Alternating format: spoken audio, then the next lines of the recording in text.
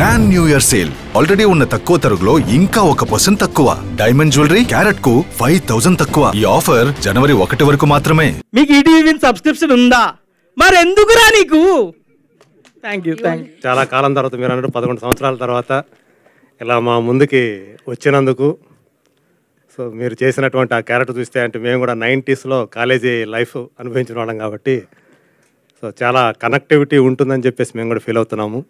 So మీకు ఎంతవరకు ఇది ఆ సబ్జెక్టు కనెక్ట్ అయింది? అంటే మీ రీ ఎంట్రీకి ఇది ఎంచుకోవడానికి రీజన్ ఏంటి? సినిమా కాకుండా. అదే అదే. రీఎంట్రీకి ఇది ఎంచుకోవటం నేను ఎప్పుడు కూడా ఏది ప్లాన్డ్గా అనుకుంటే అవ్వలేదు నాకు. సరే ఏ ఆపర్చునిటీ వస్తే దాంట్లో బెస్ట్ ఏముందో చూసుకొని చేద్దామని ప్రిపేర్ అయి ఉన్నాను. బట్ ఏంటంటే ప్రెస్ మీట్ పెట్టి నేను చేస్తాను నాకు సినిమాలు ఇవ్వండి అని అడగటం నాకు ఇష్టం లేదు. తప్పని కాదు. ఎందుకు? నైంటీ సిక్స్ ఫిలిమ్స్ చేశాను. మళ్ళీ ప్రెస్ మీట్ పెట్టి చెప్పి అడగాలి అంటే ఇవాళ సోషల్ మీడియాలో ఆ తమ్నేల్స్ చూస్తే తమ్నేల్స్ ఒక్కటి చాలు సూసైడ్ చేసుకోవడానికి సో ఆ పరిస్థితిలో ఎందుకులే? ఏదైనా ఆపర్చునిటీ రాకపోద్దా? లేదా మనమే తీద్దామా? అనే ప్రాసెస్లో జరిగినటువంటి ఒక అంశం ఇది. దాని నుంచి బాపినీటి గారితో నేను నేను చేస్తాను సార్ నాకు ఉంటే చెప్పండి మీరు అని నేను అన్నాను. నేనంటే యాక్చువల్గా ఆ సినిమాని మీరు తీసుకుంటారా మీరు తీస్తారా అని అడగటానికి వెళ్ళాను నేను ఆయన్ని. ఎందుకంటే విన్ యాప్ అప్పుడే వస్తూ ఉందని చెప్పి చెప్పారు నాకు. సో ఆ సందర్భంలో ఒక వన్ అండ్ హాఫ్ మంత్ తర్వాత ఆయన చెప్పారు నితిన్ గారు కాల్ చేశారు. కాల్ చేస్తే కథ వింటానండి అని అన్నాను. వెబ్ సిరీస్ సార్ ఇది అన్నారు నో ప్రాబ్లం ఏదైతే మనకేంటి అని వెళ్ళి విన్నాను. విన్న తర్వాత నాకు అనిపించింది ఓకే ఇప్పుడు నేను చేస్తే ఏం చేయాలి? ఏం సినిమా చేయాలి? హీరోగా ఏం సినిమా చేయాలి? హీరోగా మరి వాళ్ళు ఇస్తారా లేదా మనకు తెలియదు. సో మంచి క్యారెక్టర్ కావాలి అని అనుకునే పరిస్థితుల్లో చంద్రశేఖర్ అనే ఒక క్యారెక్టర్ ఒక మ్యాథ్స్ టీచర్. ఇందులో హీరో అంటారా ఏమంటారా అనేది మీరు సిరీస్ చూసిన తర్వాత మీరు చెప్పాలి అది. నేనైతే చంద్రశేఖర్ ఫ్యామిలీ మిడిల్ క్లాస్ అనేది ఆ క్యారెక్టర్లో ఉంది కానీ మిడిల్ క్లాసే హీరో ఈ సినిమాకి. ఈ సిరీస్కి ఒక మిడిల్ క్లాస్ లైఫ్ అనేది ఒక హీరో. దాంట్లో వచ్చిన పాత్రలు ఇవన్నీ. ఆ పాత్రకు సంబంధించినటువంటి ప్రతి ఒక్కటి కూడా. అంటే మా ఫాదర్ టీచర్ కాదు కానీ కష్టాలు అందరి అవే. డబ్బులకు కానీ రకరకాలు ఉన్న దాంట్లోనే సర్దుకొని నలుగురిలో బయటపడకుండా ఎలా ఫ్యామిలీని నడపాలి అని తపన పడే మా నాన్న మా నాన్న లాంటి వ్యక్తులు ఈ సమాజంలో తొంభై ఐదు శాతం ఉన్నారు. అలాంటి ఆ మిడిల్ క్లాస్ సంబంధించినటువంటి ఆ కథ నాకు కనెక్ట్ అయింది. ఈ జనరేషన్కి వస్తే ఈ కథలో ఉన్నటువంటి రోహన్ పాత్ర నా చిన్న కొడుకు కనెక్ట్ అయింది. సో ఇలాగా రకరకాల పాత్రలన్నీ కూడా నా చుట్టూ ఉండే పాత్రలు కానీ ఇంకొకటి హానెస్టీ దాంట్లో క్యారెక్టర్లో ఉన్న హానెస్టీ చంద్రశేఖర్ ఏదైతే నేను ప్రశ్నిస్తానో భయ నిజాన్ని మాట్లాడటానికి భయపడడం ఎవడికి అలాంటి ఒక మాస్టారు ఇవాళ ఉన్న ఒక ప్రైవేట్ స్కూల్స్ యుగంలో ఒక మాస్టారు ధైర్యంగా పోయి నేను గవర్నమెంట్ టీచర్ని అయ్యుండి ఒక ప్రైవేట్ స్కూల్లో నా బిడ్డలను చేర్చినందుకు సిగ్గుపడుతున్నానని చెప్పటానికి కూడా సిగ్గుపడని ఒక క్యారెక్టర్. ఆ యాజమాన్యాన్ని ప్రశ్నించి వాళ్ళని మాట్లాడకుండా చేసే ఒక క్యారెక్టర్ ఒక నిజాయితీ ఆ క్యారెక్టర్లో నిజాయితీ ఆ చంద్రశేఖర్ గారి క్యారెక్టర్లో ఉన్న ఒక నిజాయితీ. ఇవన్నీ కూడా. అలాగే వాసుకి గారి క్యారెక్టర్లో కూడా ఆ పిల్లల్ని ఆ కష్టం తెలిసే విధంగా పెంచే ఒక ఇది నా వైఫ్ నా పిల్లల్ని ఇద్దరిని అలాగే పెంచింది. మా అమ్మ మమ్మల్ని కూడా అలాగే పెంచింది. ఎన్నో కష్టాలు పడి గుట్టుగా సంసారం చేయటం అవన్నీ కూడా ఈ కథలో ఉంటాయి. ప్రతి ఒక్కళ్ళ స్టోరీ అండి ఇది. మిడిల్ క్లాస్ నైంటీస్ అనే కాదు. Every middle class family story ఇది. సో అదంతా కనెక్ట్ అవటానే నేను ఈ పాత్రని ఈ ఈ- సిరీస్ని ఒప్పుకోవటం జరిగిందండి. అలాగే ఈ సిరీస్ వెనకాల ఉన్న నవీన్ మేడారం ఆయన ఆయన బ్యాక్గ్రౌండ్ కూడా యాజ్ ఏ టెక్నీషియన్గా తన తన బ్యాక్గ్రౌండ్ చాలా పెద్దది. తను కథ ఒప్పుకొని ఒక సాటి ఇంకో డైరెక్టర్కి కథ ఇవ్వటం అనేది అది ఆ ప్రొడక్షన్ తను చేస్తూ ఉండటం అనేది అది గొప్ప విషయం.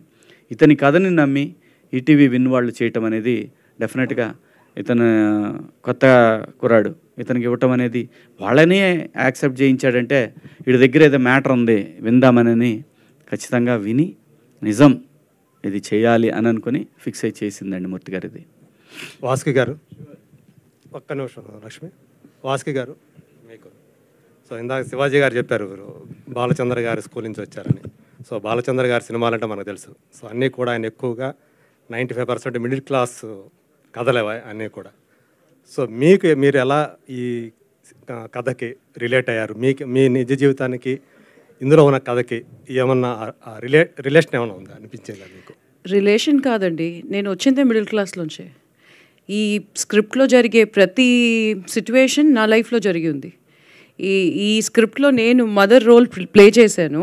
కానీ నేను మాట్లాడిన ప్రతి డైలాగ్ ప్రతి సెంటెన్స్ మా అమ్మ నాకు చెప్పిందే.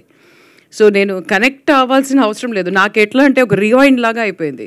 కనెక్ట్ కాదు. It's just nostalgic rewind of the entire incidents in my life నేను మేము uh, ఉన్నది అయితే proper Chennai middle class పీపులే dad is a reserve bank employee mom was a school teacher మేము ఇది- ఇంట్లో వస్తే చదువు చదివితే నీకు భవిష్యత్. లేకపోతే నువ్వు ఇల్లు తుడుస్తావు తడిబట్ట పెడతావు. ఇదే ఇలాంటిదే మేము ఇది విని విని నేను యాక్చువల్లీ పెరిగిన ఒక పర్సన్ నేను.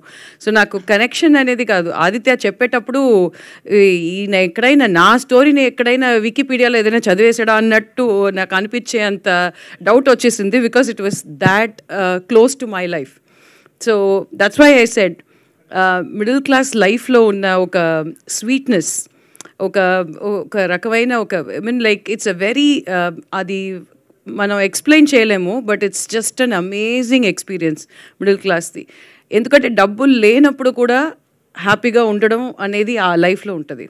వైఫై వద్దు ఫోన్ వద్దు టీవీ వద్దు ఏది లేకపోయినా కూడా అప్పుడు ఆ టైంలో ఫైట్స్ జరుగుతాయి.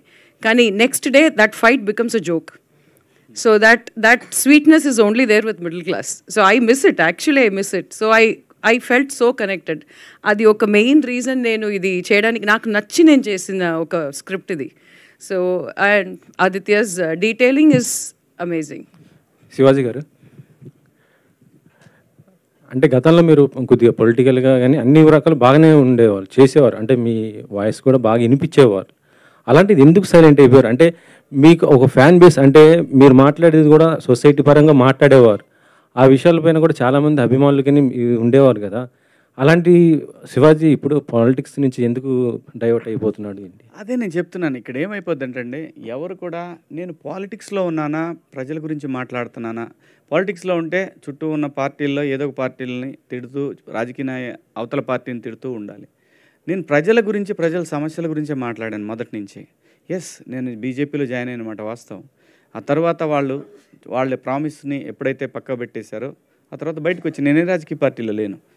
ప్రజల సమస్యల గురించి ప్రజల అవసరాలు ముఖ్యంగా యూత్కి సంబంధించి నేను ప్రత్యేక హోదా అనే అంశాన్ని నేను తీసుకున్నాను. సి దానికి లీడర్షిప్ చాలా అవసరం. లీడర్స్ కరెక్ట్గా ఉంటే నిజంగా సింపుల్గా చెప్పాలంటే ఈ రోజున మనకి రావాల్సినటువంటి ఏదైతే ఇన్ఫ్రాస్ట్రక్చర్ ఉందో అది మొత్తం ఆ సొమ్మంతా ఈ తరానికి చెందాల్సినటువంటి ఇన్ఫ్రాస్ట్రక్చర్ ఏదైతే ఉందో అది ఎనీథింగ్ ఇన్ఫ్రాస్ట్రక్చర్ అంటే వాటర్ కావచ్చు అంటే క్లీన్ వాటర్ కావచ్చు హెల్త్ కేర్ కావచ్చు లేదు రోడ్స్ కావచ్చు మనకు రావాల్సిన క్లీన్ పవర్ కావచ్చు ఎవ్రీథింగ్ ప్రజలకు సంబంధించిన ఏదైతే ఇన్ఫ్రాస్ట్రక్చర్ ఆస్తి మొత్తం కూడా రాజకీయ నాయకుల జేబుల్లోకి వెళ్తూ ఉంది. ప్రజల్లో ప్రశ్నించే తత్వం కోల్పోయింది. క్యాస్ట్ ఫీలింగ్స్ అవసరమైతే రాముడు దేవుడు లేదంటే అల్లా లేదంటే జీసస్ ఇలాంటి వాటికి రకరకాలుగా ప్రజల్ని రెచ్చగొట్టే ధోరణిలో తయారైన తర్వాత ఎంతకాలం పోరాడగలడండి ఒక మనిషి? వాడికి ఒక ఫ్యామిలీ ఉంటుంది. వాడికి ఒక ఫ్యామిలీ ఉంటుంది. పది సంవత్సరాల పాటు ప్రయత్నం చేశాను. అలాని ఇప్పుడు వదిలేశాను కాదు నెవ్వర్ ప్రజల గొంతుకగా మాత్రం ఎప్పుడు ఉంటాడు శివాజీ. కానీ నా ప్రొఫెషన్ మాత్రం నన్ను నటుడిగా నిలబెట్టి నా గొంతుక పది మందికి తెలియటానికి కారణమైన సినిమా మాత్రం ఇక నుంచి చేయాలని ఫిక్స్ అయ్యాను.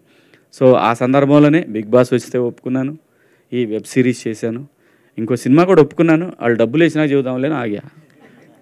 అంటే ఇప్పుడు ఇరవై- పొలిటికల్గా ఇరవై ఏళ్ళ- చూసుకుంటే అయ్యో ఆ, పవన్ కళ్యాణ్ గారు కూడా బాగానే చేస్తున్నారు కదా. అలాంటి ఆయనకి ఇప్పుడు అంటే మీరు కూడా కలిసి అట్లా చేయొచ్చు కదా ఇప్పుడు. ఎందుకు ఒంటరి అవుతున్నారని అనుకుంటున్నారు? సి పొలిటికల్ క్వశ్చన్స్ వద్దు. ఇదే లాస్ట్ నేను చెప్తాను. దాని నేను ఒకే ఆన్సర్లో అందరికీ చెప్తాను. సి మెగాస్టార్ గారి ఫ్యామిలీకి ఆంధ్రప్రదేశ్ కానీ తెలంగాణలో కానీ వాళ్ళకున్న ఫ్యాన్ బేసు ఎవరికీ లేదు. అది నిజం. అసలు వాళ్ళకి సీఎం అవ్వాలంటే పెద్ద కష్టమైన పని కూడా కాదు. మళ్ళీ చెప్తున్నా. నేను ఏదైనా చెప్పాలనుకున్నది క్లియర్గా స్ట్రైట్ ఫార్వర్డ్ చెప్తా. కొంతమందికి నచ్చవచ్చు నచ్చకపోవచ్చు. ఎక్కడో లోపం జరుగుతుంది అది సరిదిద్దుకుంటే ఇంకే ఇష్యూ లేదు. వాళ్ళ ఫ్యామిలీ నుంచి సీఎం అవటం పెద్ద కష్టమైన పని ఏం కాదు. పాలిటిక్స్ క్వశ్చన్స్ దయచేసి ఇక్కడ వద్దు ఓన్లీ నేను సపరేట్గా పెడతా. అప్పుడు వేసుకోండి గట్టిగా.